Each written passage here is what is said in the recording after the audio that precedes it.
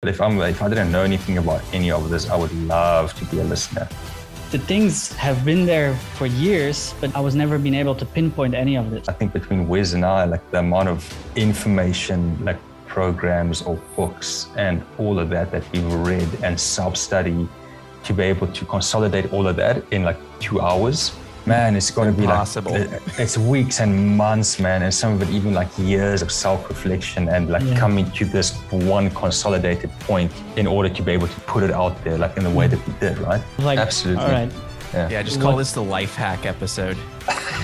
But the, and that's the power, man. Like it's got to go from conscious through the subconscious into the unconscious.